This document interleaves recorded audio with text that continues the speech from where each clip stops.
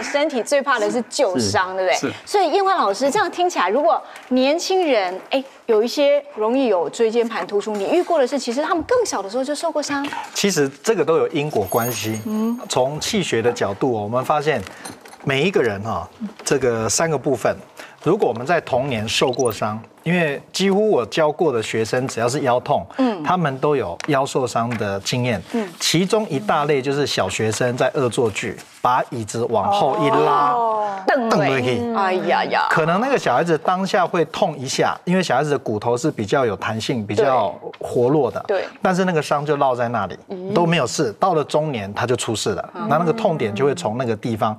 有的人在现场当下撞的时候，其实骨头已经裂了，可是因为他小孩子自我复原的这个速度快。第二，到了中年。这个会持续的这个留下来，然后到了中年，腰椎就开始不舒服。所以我看过很多的学生，他一走过来，他说：“老师，你帮我咨询一下。”我说：“你的腰一定有问题，因为走路它已经不一样。因为从刚才的那个胯骨，当它歪的时候，走路其实已经在变了。那这个就会影响整个腰的这个地方。那如果什么都不做，那老年就是行动不良，不会老了之后突然有一天退休金拿到他就好了，他觉得只会越来越严重。我在台中有一个学生哦，他是我们台湾之光哦，他是做所有那种马达，几乎都是他，全世界都是他在做。然后他就年轻很拼，然后呢都搬重物。那有一次大概快到五十的时候，有一天他就这样子搬起来，然后他也是一样听到咔一声，OK。隔天突然之间他没有办法起床，然后一他一直在房间，哎呦，他没有叫到不敢。出力喊，他那个一喊这样啊？哦，因为一出力喊，肚子一用力一施压，后面就痛了，然后不敢不敢喊太大声，因为他又不敢翻。敲东西啊，使不了力的，然后后来就几乎躺了一整天，慢慢挪，慢慢挪，也是住院两三个月。所以中医有一句话说，伤筋动骨要休养一百天，就差不多是三个月时间。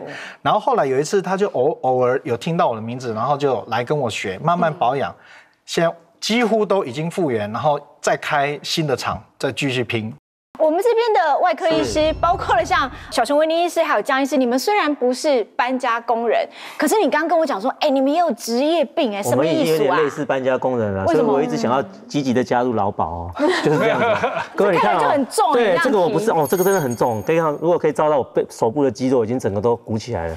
这个大概二十几公斤哦，我说各位你觉得很奇怪，我拿这个背包要干20几啊嘛哦？对对对对对，我们的铅衣大概就这么重哦。我记得我住院是第一年的时候，那时候我们因为大家都知道那个癌症的病患要放人工血管嘛，对人工血管放好之后，我们马上用 X 光，马上要去检查它的位置，我们放到我们要的地方，嗯所以我们是穿着铅衣在做的。这个铅衣的重量就等于这个。天。当然，现在技术比较进步了，现在大概有七八公斤的前衣是薄的前衣，那是我们以前穿的都是这个，而且开几个小时。对，而且我一个那那一个月，我记得我住院医师的第一个月就直摘，就这个，我第一个月就到心脏血管外科，我第一个月就做了两百多台的人工血管，我每天穿这个至少要六个小时。哇，对，所以后来我做完那一个月之后，第二个月我就告假两个礼拜，医院住我的家，因为我背部极痛。哦我说真的很痛，你试试看看，你每天穿六个小时，你连续穿一个月，你看看，真的非常非常不舒服。哦。我那时候真的是平躺在床上休息了快两个礼拜，那个背痛才好，哇非常非常的严重。那小熊维尼医师你怎么熬过来的？这个如果到开刀房哦，我们换衣服的时候就会看到哈，可能江医师跟我在站在隔壁，他就衣服脱光之后呢，先绑一件束腰，因为我们几乎都腰会腰会痛我，要做这个就我们就要先穿一件束腰，再去穿铅衣那些的哈嗯。啊，像有一次我就是没有脱铅衣，呃铅衣本来就很重，然后我又很重，结果病人也很重。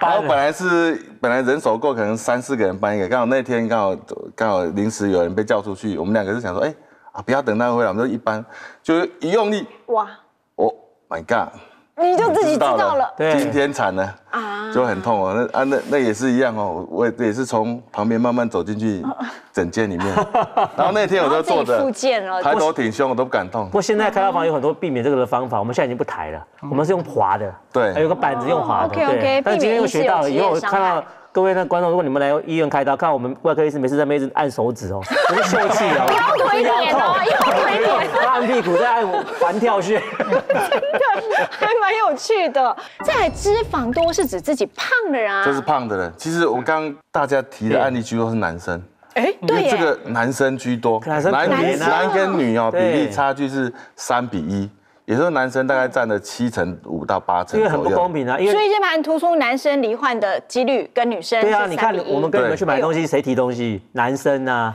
所以我们这个真的很危险，尽量不要叫男生陪你去逛街。刚刚也有提到，你不要为了自己，就是就是这个这个累积哦，像我们刚刚那个累积的。那个动画哦，它其实慢慢慢慢那个旁边那层很很强韧这个纤维，它是很强韧，但它慢慢受伤，慢慢受伤，到四五十岁的时候就会坏掉，所以这个发生的年纪大概是四十岁到五十岁最多哈。那像爱运动，因为爱运动没有什么坏处，但是如果爱运动是属于那种喜欢举重啊，哦，或是做一些负重的运动哈。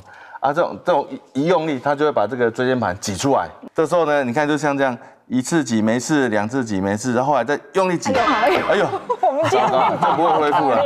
那时候整个都都会麻木跟无力其实。这里面我一定要补充一个非常重要，这三个哈有一个最大的关键会这个腰出问题是贪玩。晚上睡眠是不够的，所以你看，所有的人在搬重物，如果你前一晚休息是不够的，你这一般的一撞那一个刹那，你的因为这个气不足了嘛，所以整个受伤就从那里开始。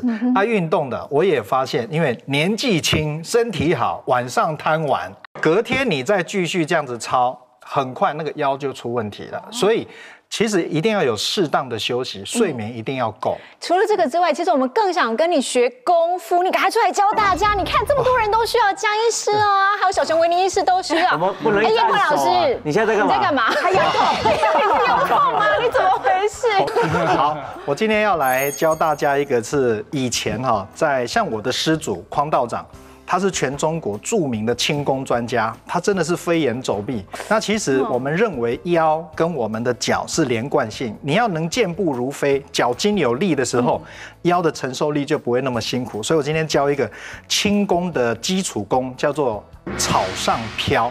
然后他走，我先走一个呃示范，他只需要走七步就好了哈。哎走七步。好，我再走一次哦原来这在练功啊那记得一定要从右脚开始。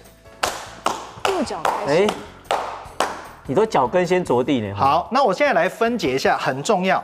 第一个，脚跟落地，然后要有点像这样子滑，脚跟落地，脚跟落地。那我们的腰要特别注意，不要变成屁股翘出去。嗯你要把核心用力腰。收进来，也就是把尾巴骨、肩骨这个地方缩进来。嗯，然后我们在走的时候，不是看地上，我把使力点是向前，所以你看。那电视机前的朋友，如果你现在在做，如果腰无力的人就会变成小偷，他就会变成 屁股就会翘很高啊。因为他这个 OK 腰没有力，他马上屁股就翘起来。他没有缩臀提肛嘛？要把呃不用提肛，就是把腰椎往前，然后呢，你在拍的时候要右手右脚哦，所以是哦右手一、二、三、四、五、六、七，七步就好。好，然后接着要往后，变成脚尖，一、啊，也是右脚先啊。三，不用拍了，四？五、六、七也要拍。好，只是我现在分解就是脚尖落。其实向后走对腰的这个舒缓是非常大的这个帮助。嗯，那这个时候命门穴已经打开，我们这里有一个很重要的穴道叫命门穴，这个时候气就会在这边运转，嗯，所以它会增强我们这边筋骨肉哈。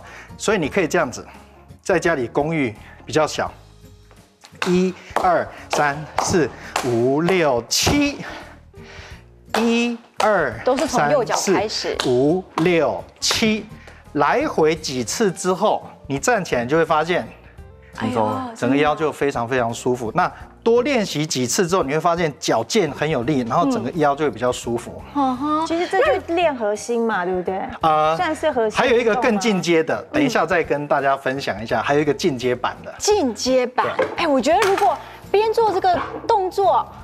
边作诗的话，七步诗的话也是，哇，那就更厉害了。草草纸，好，所以我们今天教大家一些方法。那像呃，陈医师，你一定也遇过很多椎间盘突出的人。你说其实爱运动没有错，但是他们可以挑选比较适合的运动。我我建议的运动，因为我们在诊间很多是老人家来嗯看哈，就是腰痛的老人家哈，还有一些当然是椎间盘突出的的这个患者哈，嗯，我们都会介绍他比较简单的，就说哎，他一看就会了。我一示范呢，我请请我的这个同仁帮他示范一下，或者我自己的影片给他看一下，他就容易会的。这个动作要在床上或者瑜伽垫上面做。是，那不要太软。一定要有一个支撑啊，这个动作做起来才会有效，不然自己这个力量就被这个床吸收掉了啊。那第一个就是我们的呃拉背的动作哈，就先趴下来，然后呢两手把上半身撑起来，那头往后仰啊，那这样就是把你的背拉开啊，因为我们椎间盘突出人是什么，都是往前挤。所以做这个反向的动作，它就可以舒缓它。那这个动作很简单，那可以可以呃老人家也可以做啊，那个呃刚受伤的人也可以做。那你速度可以自己去调节，那时间慢慢慢慢拉长。那第二个动作我们起来翻过来，我们做架桥的动作。